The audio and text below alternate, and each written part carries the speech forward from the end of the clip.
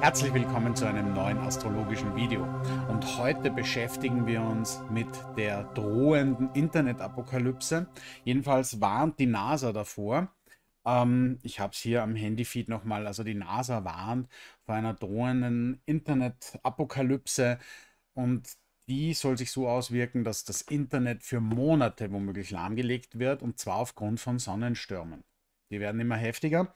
Die NASA beobachtet das und, und blickt eben mit Sorge da auf unsere technologische Inst Infrastruktur und eben auch auf die Gefahren, wenn das lahmgelegt wird. Und ich schaue mir dieses Thema heute astrologisch an und das kann man anhand eines Stundenhoroskops machen. Und so ein Stundenhoroskop kannst du dir vorstellen, du schaust dir ist ja Urastrologie eigentlich. Du schaust dir die Zeitqualität an, wenn du mit einem Thema in Berührung kommst. Das heißt, wenn du in Berührung kommst mit einem gewissen Ereignis, einem gewissen Thema, kannst du auf diese Zeit, auf diesen Zeitpunkt eine, ein Horoskop machen. Und ich habe da eben den Bildschirm abfotografiert, dass ich wusste Datum, Zeit, wann kam ich mit dieser Meldung in Berührung und kann man da vielleicht die Qualität dieses Themas astrologisch rauslesen und vielleicht auch die Relevanz dieses Themas. Also wie ernst ist das momentan? Und da habe ich ein spannendes Stundenhoroskop für dich erstellt. Also schauen wir gleich mal rein zur Internet, Internet-Apokalypse. Du siehst, wir haben hier bei dem Horoskop einen Jungfrauen-Aszendenten. Und äh, Jungfrau-Aszendent, also das ist so, der Aszendent beschreibt so das Thema eines Horoskops. Und Jungfrau bedeutet ja einfach, es geht da um Forschung, es geht um, ähm, es geht um Analyse, also es geht um eine Präzision. Also das Thema ist also so Forschen, Analysieren, es wird also was analysiert. Das ist also so auch das Thema des ersten Hauses quasi. Also da, da, da will etwas analysiert werden, da geht es um eine ganz konkret Energie einer Forschung, einer Analyse. Also man sieht schon am Aszendenten, spannend, das würde sich ja decken, wenn die NASA forscht. Und jetzt schauen wir mal, wo wird denn da geforscht? Und da schaut man sich dann den Herrscher des Prinzips Jungfrau an und das ist der Merkur. Und der Merkur steht oder stand zum Zeitpunkt dieses Stundenhoroskops im neunten Haus, im neunten Haus im Zwilling. Das heißt, es geht einmal, es ist ein, ein, ein zwillinghafter, es ist ein zwillinghafter Merkur. Das heißt, um was geht es da? Äh, Kommunikation, Austausch, ja, verbinden, sich verbinden auch. Also es geht also Forschung über Verbindung, über Kommunikation und das äh, im neunten Haus. Und wenn wir uns das neunte Haus anschauen, das ist ein stieriges Haus, ein Stierhaus. Also da geht es auch um eine um ganz konkrete Strukturen, um, um irdische Strukturen. Und da es eben jetzt äh, neuntes Haus ist, was ist das neunte Haus? Das ist Schützehaus. Das heißt, das ist auch das über die Grenzen hinausgehende. Das heißt, es geht um eine Forschung, die sich mit Kommunikation beschäftigt, die über die Grenzen, über irdische Grenzen vielleicht hinausgeht und die auch weiter womöglich als die Erde geht. Da könnte man dann auch den Uranus, der gerade im Stier steht, hast du sicher schon in Videos bei mir gehört, auch so deuten. Das ist eben so diese grenzenlose Kommunikation. Und ähm, da haben wir jetzt eben schon eindeutige, so astrologische Hinweise, um was es denn da geht. Also wir haben jetzt nur uns angeschaut im, im, im Thema, musst du dir das mal vorstellen, wir haben uns jetzt nur einen Punkt angeschaut, wir haben uns nur den Aszendenten angeschaut, also den Jungfrauen-Aszendenten in diesem Horoskop und den dazugehörigen Herrscher, dass wir schon mal eine Grundqualität, ein Grundthema des Horoskops herausfinden können. Ja, also Forschung, Kommunikation, über die Grenzen hinausgehende Kommunikation. Und jetzt schauen wir da noch genauer rein, was der Merkur denn für Aspekte drauf hat. Und der hat da ein Quintil zum Mars hin. Das heißt, da geht es auch irgendwie um womöglich äh, um, um, um gewisse Unfälle, um gewisse Energien, die da hinkommen. Ja, also es geht da um Merkur kriegt eine Energie vom Mars und wo steht der Mars? Und das ist für mich so astrologischer Zucker. Der steht so im elften Haus im Zeichen Löwe. Und Löwe ist ja auch das Heimathaus der Sonne. Also Energie vom Löwen, von der Sonnenenergie her, geht auf den Mars rauf. Und da hast du mit diesen Punkten schon einmal ganz tief in, bist du schon tiefer in das Thema eingetaucht. Und das finde ich halt einmal schon spannend. Ja? Und ja, wenn wir dann noch weiter schauen, es gibt ein Trigon zu, Blut, zu Pluto, äh, der gerade rückläufig war zu diesem Zeitpunkt oder rückläufig ist auch noch. Und, und der Pluto steht ja äh, schon wieder im Steinbock. Das heißt, da geht es noch einmal um Transformation von, von, ja, von Grenzen, von Strukturen aus dem Wassermann zurücklaufend. Also das heißt, es ist womöglich so eine Transformation auch dieses Luftigen der Kommunikation, die da eingeschränkt wird. Also Pluto in Steinbock ist ja auch eine Einschränkung und die bildet da jetzt zwar ein Trigon, das heißt, es ist jetzt nicht mega belastend, aber hat ein Trigon auf den Merkur rauf. Ähm, also da sieht man schon, da ist ein Einfluss, eine Einschränkung auf die Kommunikation und das sieht man alleine schon, wenn man diese beiden Punkte sich im Horoskop anschaut und betrachtet. Naja, äh, was noch drauf ist auf dem Merkur ist, äh, haben wir hier ein Sextil von Neptun. Und Neptun ist ja in den Fischen im siebten Haus. Das heißt noch einmal, Neptun, siebtes Haus, heißt ja auch, das ist das Begegnen, ja, das ist der Austausch auch, das ist das Waagehaus, also das, das Begegnen von Ideen, das Begegnen von Menschen. Und da ist Neptun, das ist die Auflösung von Begegnungen äh, mit Ideen oder Menschen. Und auch das spielt damit. Das heißt, an diesem Punkt können wir schon festmachen, astrologisch, wenn man sich tiefer damit beschäftigt, um was es da geht, vor was da gewarnt wird. Also das ist die Auflösung des Internets. Also ich finde das schon sehr cool, was man da so alleine aus diesem Punkt schon astrologisch rauslesen kann. Und jetzt kann man natürlich sagen, naja gut, jetzt weiß er ja, okay, da geht es jetzt um einen Sonnensturm, da geht es um Forschung. Ja, natürlich. Aber die Grundqualität muss ja enthalten sein. Das heißt, wenn du diese Grundqualität mal deuten kannst, deuten lernen kannst, dann kannst du auch astrologisch ganz anders die Welt betrachten. Das werden wir auch sehen. Ich werde jetzt demnächst mal ein Video über Astromedizin machen. Also wenn man diese Qualitäten deuten lernt, dann, dann, dann kann man da ganz anders die Welt wahrnehmen. Dann kann man Zusammenhänge ganz anders wahrnehmen. Aber schauen wir mal, ob wir in diesem Horoskop noch etwas finden. Also wir haben ja jetzt nur mal den Merkur und die Jungfrau uns angeschaut und wir sehen, der Merkur ist ja da durchaus ähm, bestrahlt, belastet. Und dann schauen wir weiter zur Sonne.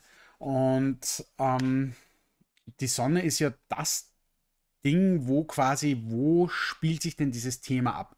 Wo wird dieses Thema zum Ausdruck gebracht? Also wir haben dieses Forschungsthema, womöglich Einschränkung der Forschung, Einschränkung einer, äh, einer, einer Kommunikation. Also es ist die Forschung zur Einschränkung der Kommunikation, Forschung zur Einschränkung der globalen Kommunikation sagen wir mal so. Und wo spielt sich das ab? Wo wird denn das dann schlagend?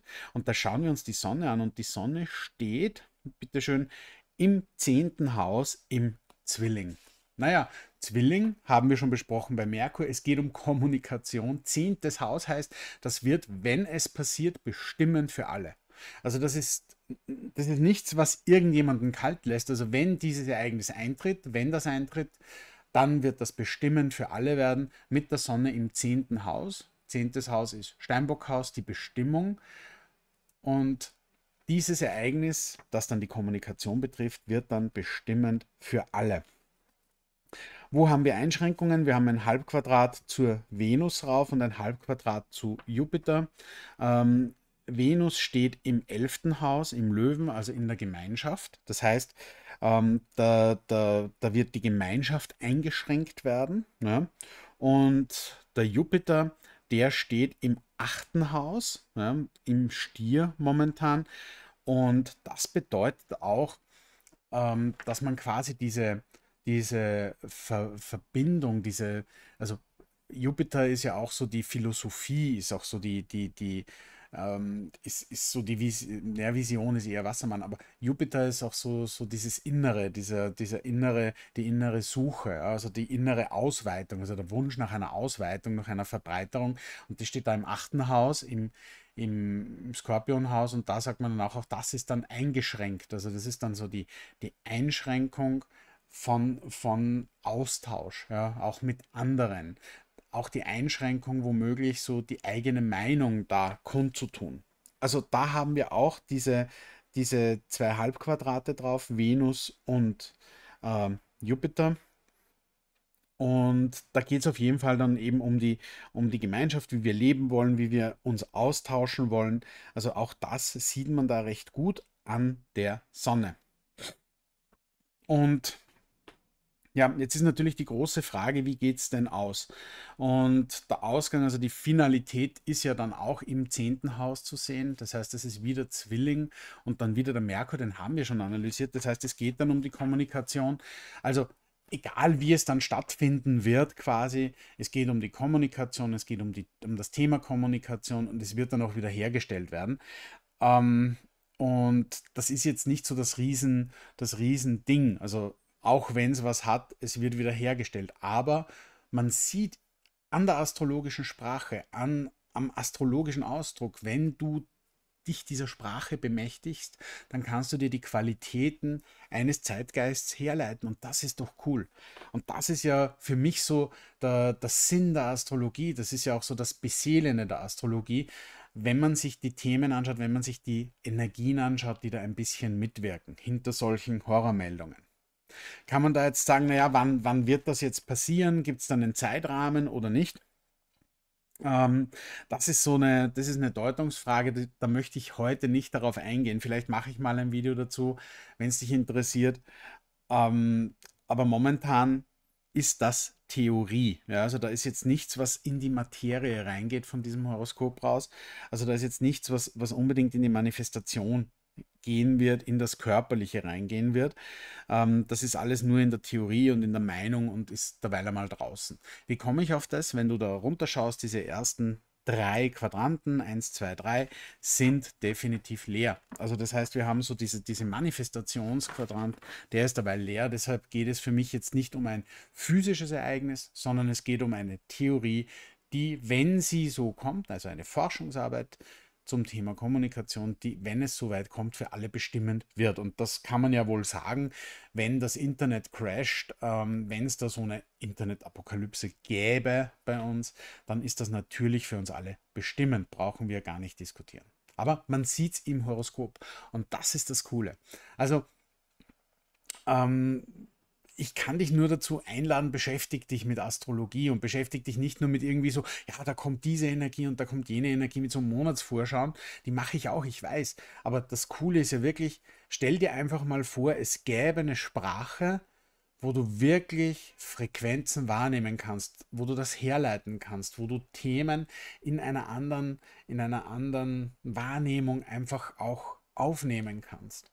Und das ist für mich die Astrologie natürlich mache ich über die Energiearbeit, über die, über die Chakrenarbeit, was ich auch alles mache, habe ich ja schon mehrere so, mir so mystische Systeme angeschaut. Aber das ist natürlich eine ganz klare Sprache, die man auch erlernen kann. Und ich merke es ja auch bei der Astrologie. Insofern, ähm, an der Astrologie scheitern viele Leute, die brav lernen können. Also die, die ganz brav lernen, die einfach, ich lerne das jetzt und dann kann ich es, die, die sind zwar dann vielleicht gute Theoretiker, aber da fehlt dann die Intuition. Ja? Und umgekehrt, wenn ich sehr gute, intuitive Leute habe, die sind, das meine ich nicht böse, oft zu faul, die Grundlagen zu lernen und scheitern dann daran. Das heißt, das ist so eine Mischung aus, man muss strebsam sein, man muss Dinge lernen, man muss Grundzusammenhänge verstehen und erlernen können und dann die Intuition draufsetzen. Und, und das ist bei der Astrologie so was Einzigartiges. Und man kann dann natürlich auch diese astrologischen Informationen, wie du gerade bei diesem Video gesehen hast, erden. Und so kommt man auf astrologische Aussagen, so komme ich auf astrologische Aussagen. Wenn ich mir das anschaue, wie ist das in der Sprachlichkeit der Astrologie verpackt, wie ist das in die Glühen verpackt?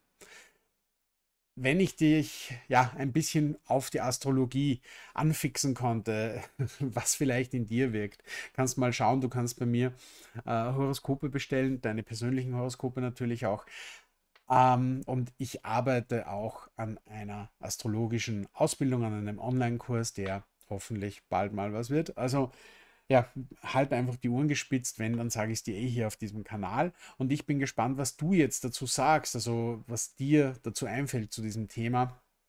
Und ja, ich freue mich natürlich, wenn wir uns bald wiedersehen. Lass mir gerne einen Daumen hoch da, abonniere meinen Kanal, teile das Video und hab eine gute Zeit. Hab ein wunderschönes Wochenende, wenn du dir das Video am Freitag anschaust und ich hoffe auf eine gute Abkühlung. Vielleicht kannst du mal in den See springen oder noch besser irgendwo ans Meer fahren. Alles Liebe aus dem wunderschönen Linz, dein Oliver Ereni. Tschüss.